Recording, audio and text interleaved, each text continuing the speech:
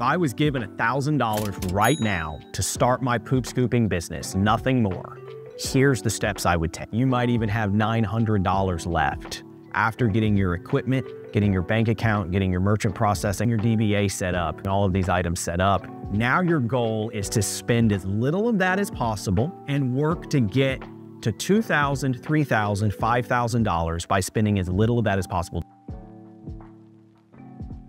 you need to do a search on, on various databases online for trademark laws and for trademark marked businesses. For example, in the poop scooping business, we were initially Pooper Troopers, which already had a trademark way up in Seattle, Washington. We were here in McKinney, Texas.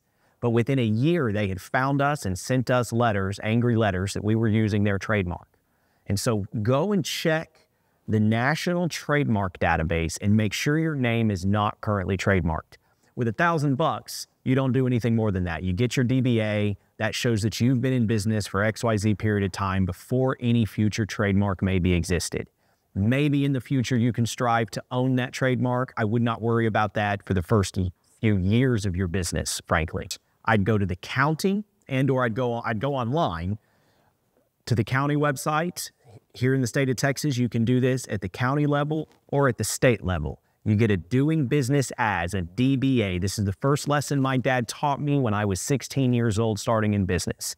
You get a DBA, doing business as, at the county or the state level. In Texas, it's like $25 at the state level. And you get your business a DBA. Do you need an LLC or do you need to incorporate? Uh, when you get your DBA, you know, you pay 25 bucks or so to your local local municipality, your county, or your state. You pay that $25. You're going to get lots of advertisements and you're going to get lots of people tell you you need to incorporate. Incorporating costs 300 or so dollars, three to $500. You don't want to do that when you have a thousand bucks. Frankly, you don't want to do that when you have 5,000 bucks. It's not necessary. Be a sole proprietor and get a DBA. You do not need an LLC until you are really getting into some revenue 10,000, 15,000, 50,000, 100,000. That's when you need to start talking about incorporating, and it's an easy shift into an LLC uh, from just operating as a DBA sole proprietor. You always want to look at managing and mitigating your risk. Uh, there is enormous liability, even in poop scooping. You've got dog bites, you've got vehicle accidents. There is risk. Absolutely. P- presumably, you're going and scooping the yard, so the risk really is on you getting bit. Well, you're not going to sue yourself. So you have low risk in that. Uh, but you've got to have insurance on your vehicle. That's just part of being a, a, a, responsible adult in America, frankly, is having insurance on your vehicle. So you, you've got that covered. Uh, that's the big, a big part of your liability. Now you've got the risk of dog bites. Um, again, you're not going to be really at any risk of causing any damage with your rake or with your bucket. And so, uh, when it comes to getting things like general liability, which is the next thing you want to look at, general liability insurance on your business, you've got to have this, by the way, to get commercial clients. You usually have to have general liability. And if you have any employees, and in some states, you might even have to have workman's comp on yourself. But to get commercial clients, you've got to have this. But you don't need this in your first thousand dollars. That's that's my opinion. I don't believe you need it. There's not a high enough risk. If you're the one and through a side hustle or starting out, you're going and scooping 5, 10, 25 clients yourself. Again, what are you going to do that's going to cause harm with your rake and your bucket? You're risking dog bites, and that's a risk that you have to take, but, but that's part of the business you got into. Uh, as you begin to get employees, as you begin to get 50, 60, 100 clients and beyond, you've got to look at general liability uh, to protect yourself, but also to begin to grow your commercial business. So the next thing you do after you get your DBA, you go and you open a bank account. You take your, at this point, $975 and you go and you open a bank, bank account. You go with a bank that you know, that you're comfortable with, usually a community bank. They're going to be a little more friendly, but not necessarily always. So you go and you open your bank account. The next thing you do is you need to set up your payment set structure. This is a huge mistake by most early business owners in all home services is they do not properly set up system and process for their payment, how they're going to collect payments. And then when you do start to set that up, it's done uh, somewhat in a way that you don't take cash flow and the speed of money into in, in, into the in, into account. And so you want your cash flow to be fast. You want to get paid as quickly, as fast, as soon as you've done the service.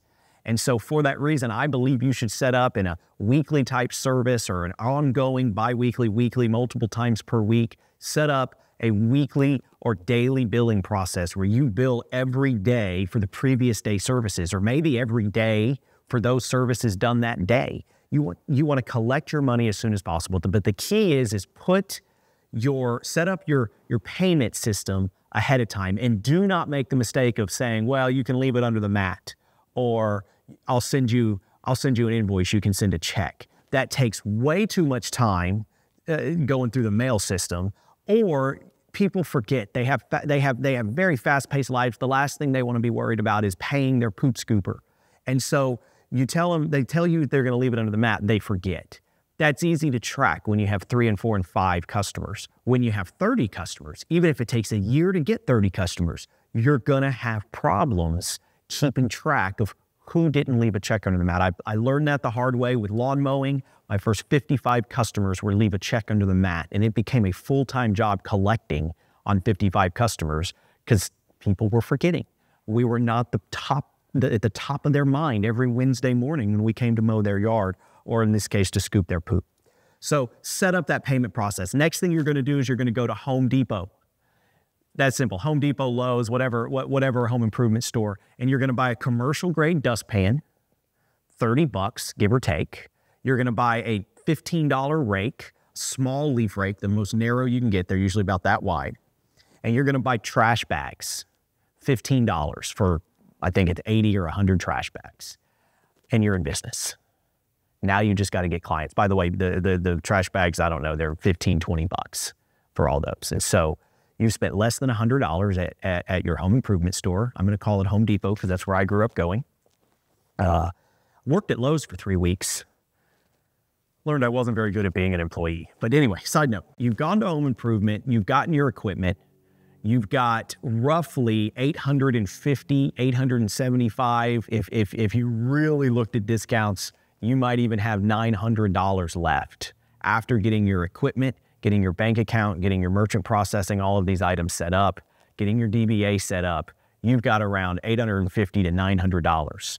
Now your goal is to spend as little of that as possible and work to get to $2,000, $3,000, $5,000 by spending as little of that as possible. Don't run out and say, How do I spend this? Oh, I can get business cards. Oh, I can get door hangers. Oh, I can spend this on Google Ads. I can spend this on. There's so many things you can spend it on, but frankly, it's not enough to really have a dramatic impact for you.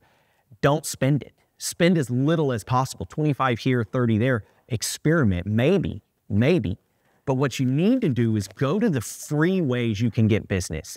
Who, name every dog owner you know through social media, through your personal relationships in the real world. How many dog owners do you know? And, and, and then start to narrow down where they live and how that works to the geographic area. By the way, you want to make sure you've nailed down your geographic area. You can't be driving all over a metropolitan area you've got to do three, four, five zip codes tops. But who do you know in those three, four, five zip codes that are dog owners? Contact every single one of them and really get active through your social media if you're active on that. Even if you're not, not active, go out of your comfort zone and get active on social media in your community and tell people what you're doing and that you're there. These things are free. Getting, getting out there and screaming at the top of your lungs to anybody that'll listen for free scream at the top of your lungs what you're doing and who you are in those three, four, five zip codes.